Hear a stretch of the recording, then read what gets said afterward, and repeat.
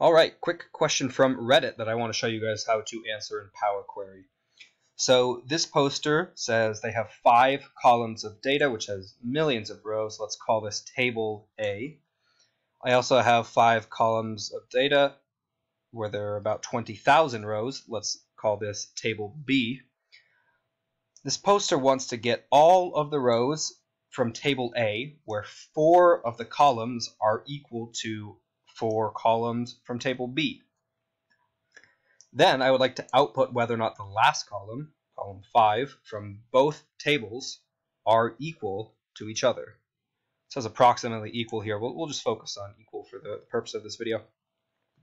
So this is a great opportunity to use Power Query. I mean, it's, it's sort of a, a good setup comparing two tables. Uh, Power Query is a great tool for doing that. And particularly when you talk about this volume of data, right? This, this poster has millions of rows in one table. Um, Excel is limited to about a million million rows, so I'm not sure how they're doing this. Um, but 20,000 rows in the other, so a great opportunity to use Power Query. So what I've done is I've set up two tables. This we'll call table A. It has columns A1, 2, 3, 4, and 5. Um, rather than a million rows in this, I've generated, um, let me slide this over just a little bit. I've generated 300 uh, rows of just random data. And then what I did is I copied 20 of these rows into table B. Okay, 20 rows into table B. I added on another 20 of just random data. And then I went through those 20 data points, and for 10 of them, I changed the value in B5 to some random number. Okay, so now there are 10 rows in this table that are identical to A. There are 10 rows which are identical in the first four columns and then have a different value in column 5. And then there are another 20 rows that are just random. Okay, so how do we make this comparison? What I'm going to do first is just go to the Data tab and create a query connecting to each of these tables. So all I need to do is go to From Table Range. Power Query is going to pull this data in. I don't need to do anything with, with it. All I'm going to do is exit, and I'm going to keep my changes. Now, Power Query loves to uh, just create a sheet as soon as you make a connection to a new data source. I'm going to go ahead and delete that.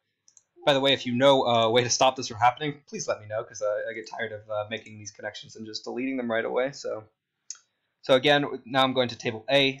Doesn't matter what order you do this, but I'm going to go to get data from table range and do the same thing. I'm just going to exit this. All I want to do is create a connection here. I'm not changing this data in any way. So we're going to keep my changes, and I'm going to delete this new sheet. Okay, so now what I want to do is merge these two queries together. So what I'm going to do is go to the Data tab, go to Get Data. I'm going to go down here to Combine Queries, right? What I want to do is combine these two queries I just created into one new data set. So I'm going to do a merge. So it brings up this window. It says, what, what's the sort of the primary, the base table that you want? It really doesn't matter what we pick in this case, but I'm going to go and say table A. So of course the other is table B. Now down here I'm going to pick the type of join that I want. The, the correct one is already selected, which is left outer, but all you have to do is read the description and it'll explain what it's doing, right? So in a left outer join, we're saying keep all of the records from the first table, table A, which match the second table. Now in this case we, we could do the exact same thing but in reverse, which is keep all of the records from the second table which match the first. Um, but in other scenarios, you know, you may want to do one or the other. But for, for this example, we're, we're going to go with left outer. Now typically what you do is you match these two tables together based on one column, you know, like a like an ID number or some some unique number, right? So I might say match table or match uh, column A1 with column B1, and that's all I would do. And, and Power Query tells me really quickly. It says I found 29 matches based on column columns A1 and B1. But what I can do, since we're looking to match four columns in this scenario, is I can just hold down Control, and I'm going to select all four of these from both tables. So now we're only matching where all four of these columns match all four of these columns. And I'm just, you can see it says it matched 20 rows, which is exactly what we copied over. Copied over 20 rows. So I'm going to press OK.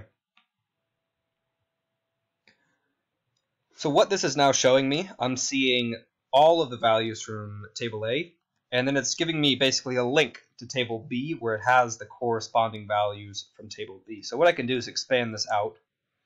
And I can say, I can pick which columns I want to view or work with. Now, B1, 2, 3, 4, those are already identical to A1, 2, 3, 4. We don't need to show those for any reason. I'm just going to uncheck them. But B5 we do care about, right? Because we know that A5 and B5 are different in a few instances. We want to find those differences. So I'm going to press OK.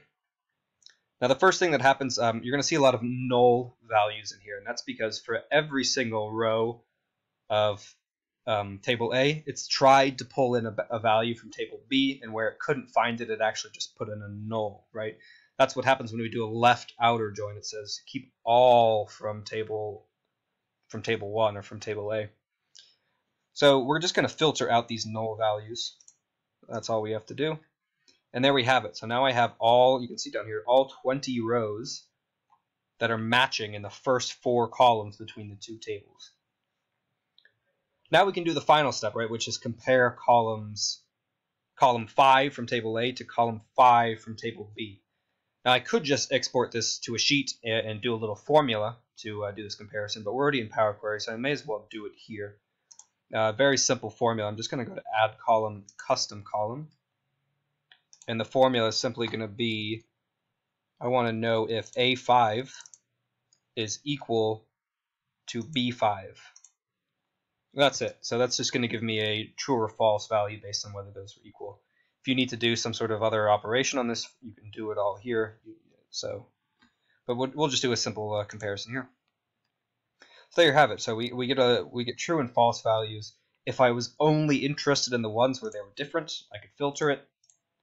You know, I only want to see the ones where these two values are different.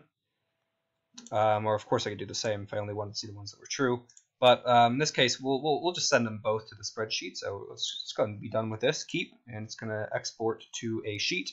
And here you, here you go. So I've got all the values that are matching between A and B in the first four columns. I can now see the value from column 5 in table A right next to the value from column 5 in table B.